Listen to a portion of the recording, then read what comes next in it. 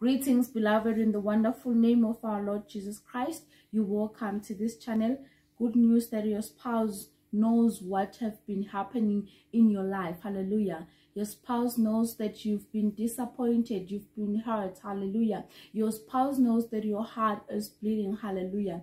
Though, beloved, as God uh, revealed this message to me, there was something which was highlighted to say, um, if you have been a victim, you have been hurt in your relationship, that doesn't mean that chapter cannot be closed. Hallelujah.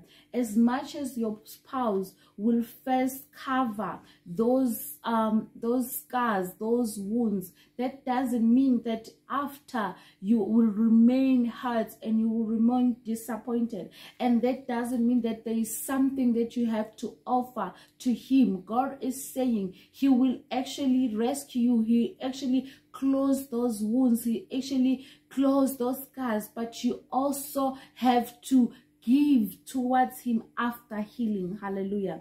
God is saying your spouse is unique, different. He, the assignment to him is clear and straightforward. But after your healing, you also need to submit. Stay blessed and continue to watch this channel in Jesus' name. Amen.